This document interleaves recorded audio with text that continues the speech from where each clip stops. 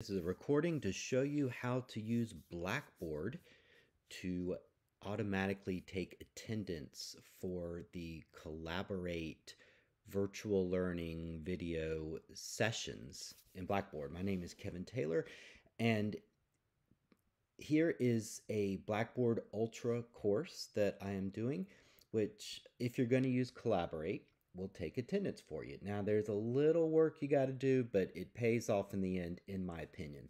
This isn't going to work for Zoom. If you use Zoom, Zoom and Collaborate are not going to talk to each other. Uh, Blackboard and Zoom aren't going to talk. So you have to use Collaborate. Now, to make it easy, the best thing to do is to go over here. You can see how I've already done this in this class.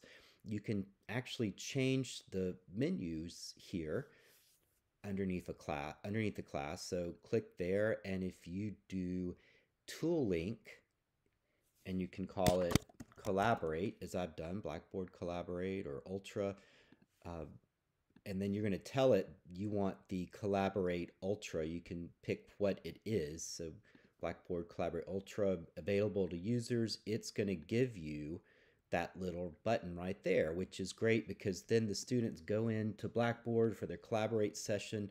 They click on the class, they go in here, and it takes them right to Blackboard Collaborate, which is Blackboard's video platform thingy. So you don't have to send them invites or codes or let them in like in Zoom. They're just going to automatically have access as they're enrolled in the class. Now, once you've done this, the first thing I would do is lock the course room. So you can see there's a course room here that's standard and it's always there and you either lock it or unlock it. So what is the course room? Course room is kind of a cool concept in that it is a permanent persistent room always available for a particular class. So in theory you would use it if you wanted to meet with students outside of class online or have advising hours or uh, office hours just for that class, you could just have this unlocked and they can kind of join it at any time, which means the room is available and they'll see it. It sounds great. I never use it. So if you're not going to use it, lock it because if you leave it open, what will happen is when students go to log in to collaborate, they're going to see two rooms. They're going to see a particular class sessions room and they're going to see the course room. They're going to log into the wrong one and get confused and email you because understandably there's two rooms visible to them. So don't do that. You want to go ahead and lock that classroom. And if you're going to use class sessions like I'm going to show you, even if you want to use the course room, I would keep it normally locked and because you'll forget and cause problems. All right, so what we're going to do is create a session and I'm going to call this, you know, I've already got a class introduction for my upcoming class, but let's create a new one and I'm going to call it Why Do People Like Sports? Because uh, this is something I personally don't understand at all, but um, it's a big world. I get it. So I'm going to set this to start on Monday, January 15th. And this is the, the fiddly bit. And let's say it's an 11 o'clock class. You can type some in Blackboard. Um, the end time doesn't matter so much because you can start and end early.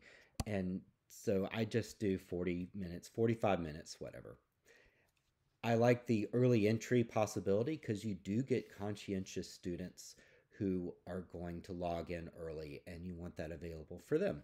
Description, you could uh, do your assignment or um, there for that, or you could call it something if you want.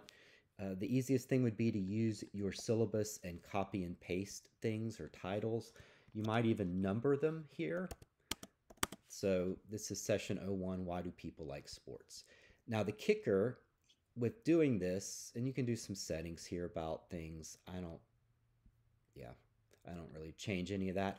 This is the kicker. This is what you've got to do is attendance reporting, share attendance information with the LMS, the Learning Management System, which itself is Blackboard. So it's I don't know why it doesn't know its own name, but and and I also don't know why you've got to check it for every session. There ought to be a global setting but it's Blackboard, so it wants you to die while clicking things. So that's what we're going to do.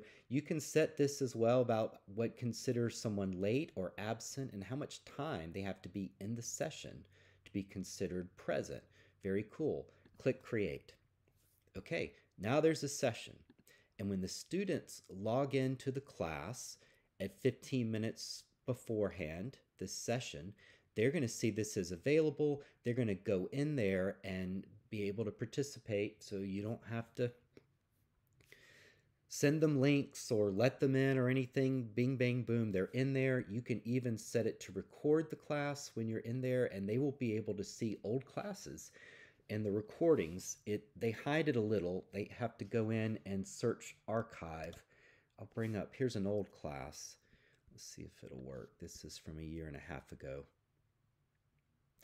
So here's a class from fall 2020, and a student or yourself all upcoming sessions, it's only showing new sessions here on the filter. But if they go to previous sessions, they can click on a class and see the recording. So that's genius if you have students miss a class because they're sick or COVID quarantine or sports, they can, in theory, watch the class that they missed because it's been recorded. You're going to tell it to record during the class session, the live class session. Um, kind of like in Zoom and something else, you're going to tell it to record. Now, the, where this all pays off is in terms of attendance tracking. So in this older class, when I go here, you can see, wow, there's the attendance. This was what Blackboard Collaborate did automatically. On November 16th, we had a class at 11 a.m. It was titled, it was number class 36 and titled Bonhoeffer. And there I can see which students attended and which were absent. And uh, it will also mark them if they're late. I can click this here and it tells me the source was collaborate. Notice because it did it automatically, I can't change it. Normally here you could take attendance and mark someone present and absent to some degree, but this won't let you exactly because it came through collaborate. Um, so that is how to use Blackboard Collaborate like a ninja to automatically take attendance for virtual classes that are synchronous, meaning they are delivered live and not pre recorded. And I hope that is helpful. Goodbye.